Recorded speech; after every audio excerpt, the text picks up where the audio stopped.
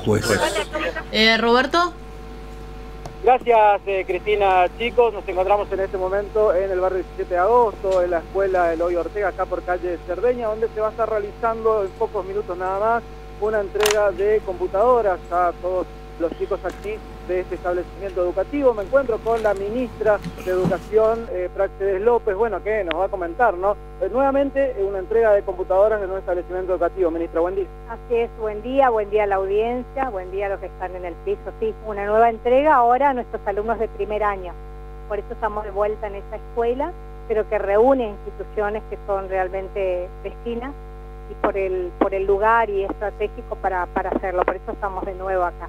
Vamos a entregar hoy más de 600 computadoras. Como decimos nosotros, no es lo más importante, sino realmente acortar esa brecha digital, apropiarse de los contenidos que venimos desarrollando del Ministerio de Educación. Así que la verdad que ese es el gran desafío para ese alumno que tenemos. Nosotros tenemos siempre alumnos en riesgo de abandono de la escuela secundaria para trabajarlo a distancia, para saber realmente que nuestros docentes se puedan... Ellos fueron siempre lo que generaron todo esto eh, tanto continua como discontinua de, la, de las trayectorias de nuestros alumnos. Pero creo que esto es un gran insumo, por eso nosotros decimos que va a revolucionar y fundamentalmente para los alumnos, la familia, en algunos lugares la única computadora que van a tener en la casa y pueden seguir estudiando en su casa. La idea es esa, entonces el incentivo, estamos saliendo de una época en la que la virtualidad es fundamental a la hora de hablar de educación, eh, ¿es eso un poquito el mensaje también para los chicos?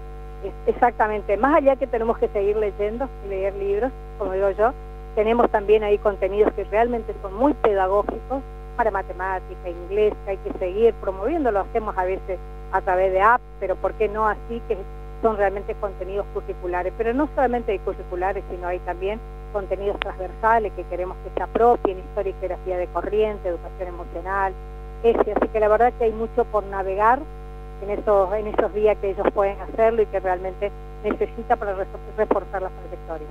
Acto que tenemos a contar con la presencia del gobernador. Estamos aguardando, así que está llegando el gobernador de la provincia. Chicos, no sé si tiene alguna consulta rápidamente. Ah, justo llegó el gobernador.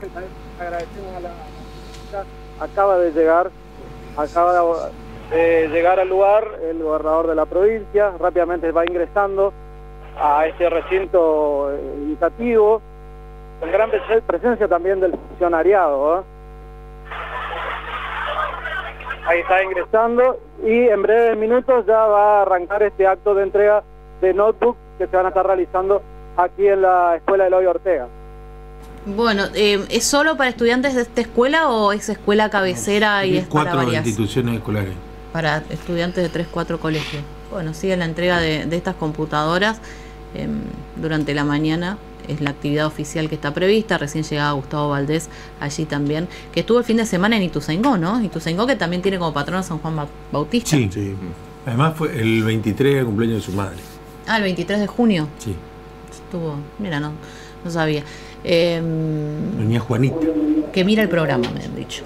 Mucha gente en Ituzaingó nos mira, así que ¿Viste? Nos sumamos para las velas del No, le sumamos, doña Juanita. ¿Y por qué no decía ahora? Hubiese dicho. Tenemos más chance que la señora Juanita nos mande. Mande una torta que, sí, a que Peloso, que está acá que cerca, compañero hace Sí, 60 sí. años. Que este- sí, es así. Eh, Suele pasar. ¿no? Suele pasar. Bueno, ahí quedamos, Roberto, en un ratito. Si querés, podemos entrar a la escuela y, y vemos un poco de la, del inicio del acto. Perfecto, nos acomodamos y eh, estamos ya en breve con lo que va a ser este acto de entrega de computadoras acá en la escuela del 17 de agosto. Gracias. Hasta luego. Bueno, ayer habló Juana Regina, uno de los abogados que acompaña a la familia Cecilia. Ayer también hubo una nueva marcha. Eh, de todo lo que hablamos con, con la Regina, Gustavo, vos que presentaste una cronología de, de los hechos,